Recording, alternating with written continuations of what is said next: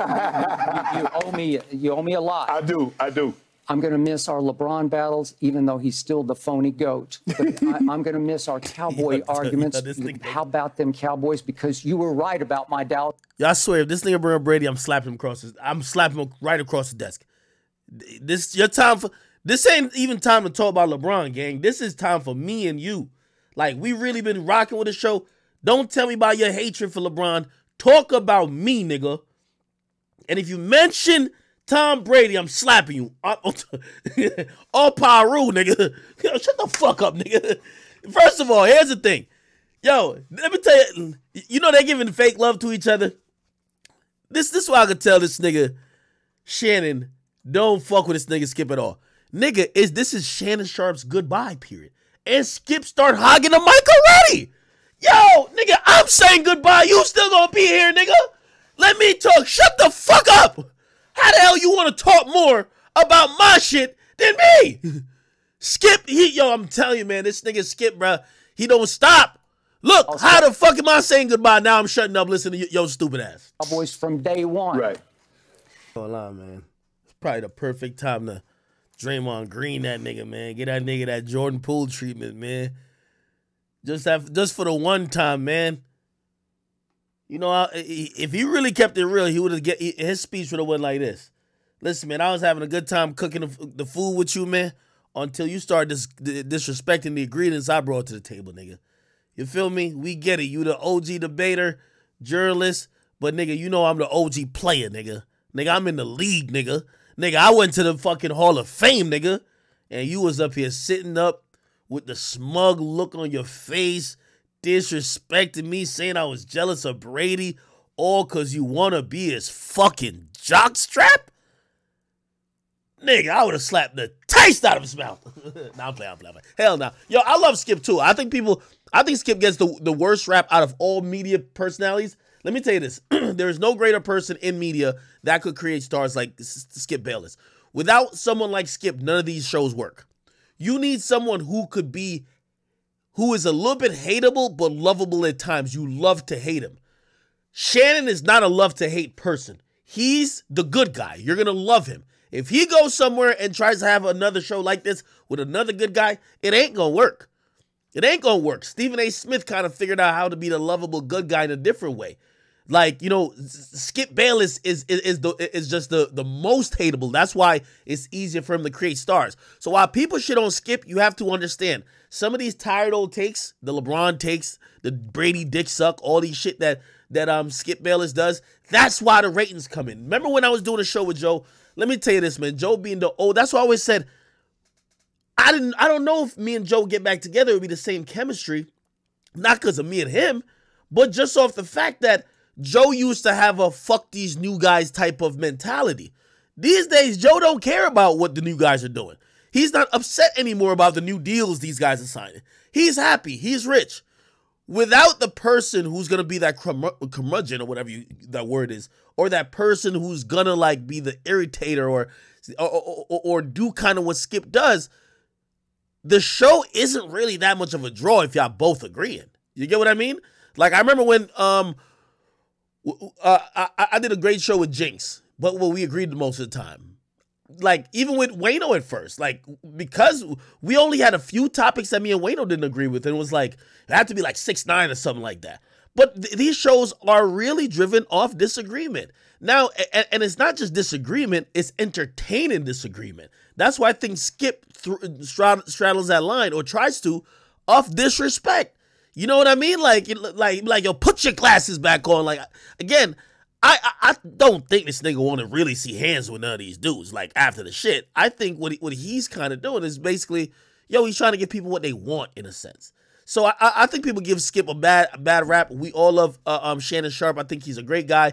I think he has a lot of integrity to what he says and what he does. We do like it, but let's not act like he blew up on some show, which is like him just giving his opinion without arguing against someone.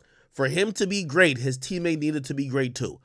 You get what I mean? That's why I, always said, even when I did Everyday Struggle, I wish a older version, maybe like me in 2020 or even 2019, could have been the person to be debating with Joe. Because I like there's a lot of times I feel like I was in a spin cycle. I didn't realize when Joe was going over the table and doing some of these things. I was thinking like, yo, 10 minutes earlier, we were taking like shots of Henny in the in the fucking green room. Like, what, like what you doing right now? He was playing to the cameras. He was playing it up for entertainment. Did he believe the things he was saying? Yes, but he knew how to sell it.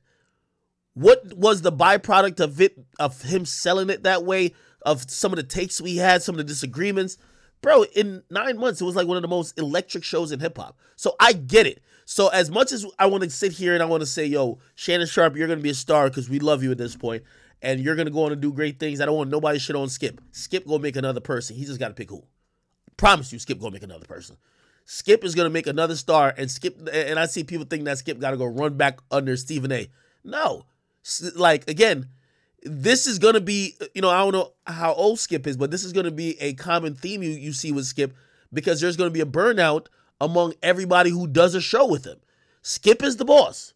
Now you do some show with Skip, and essentially you become um you become now really liked, and then that power dynamic changes, and shit, you're not gonna you know in Jamaican saying they say two dogs can't reign in one pen. You get what I mean? Or two bull can't reign in one pen. So again, Skip is to have to create a new Shannon Sharpe. I think he's still passionate about what he does, and I still think he's to be able to do it. And I think Shannon, if you ask me what he's going to do, he's going to double down on the podcast. I think he's going to find a lane.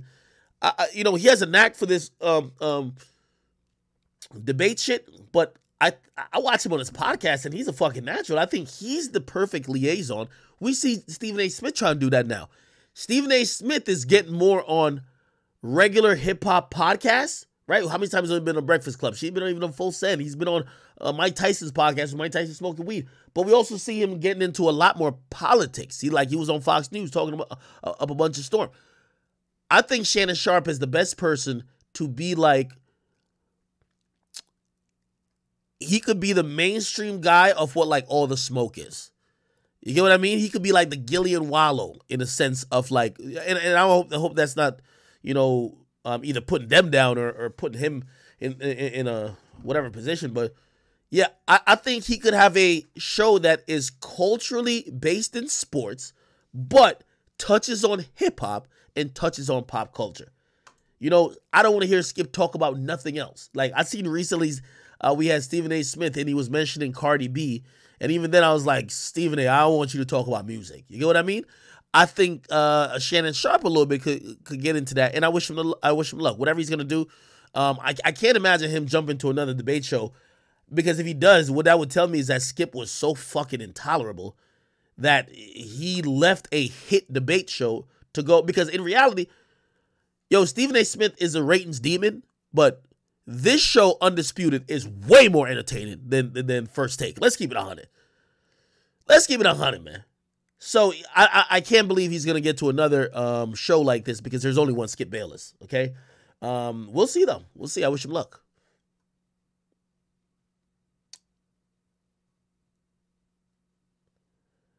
Right. From day one, you say, "What else you need from me?" I said, "I need loyalty and I need honesty." He said, "Uncle Shay, I'm gonna ride with you till the wheels fall off, and when the wheels fall off, I'm gonna get out and walk with you." Hmm. To my right. video, my big. Wait, why y'all pressing one? First take with Max was whack as shit, my nigga. Like, bruh, most of these shows about theatrics, man, Max was really trying to make a point. Like, bruh, come on, nigga. Nigga, spit it out. Like, that nigga was doing a whole bunch of word salad. I think it was sounding like T.I., nigga. T.I. after reading a dictionary, nigga. You know, of course, he expeditiously got to the goal line. And after he got to the goal line, of course, you know, shut the fuck up, nigga. I fuck with Max. I'm just saying, nigga. We, we, we know these shows about bullshit. Like, these shows about bullshit. Like, I ain't gonna lie. I knew this thing was a legend once that nigga once that, that nigga brought out the the Hennessy and Black and Moth. Come on. All right, man. Uh, let's get back to the Millie shit. Sorry.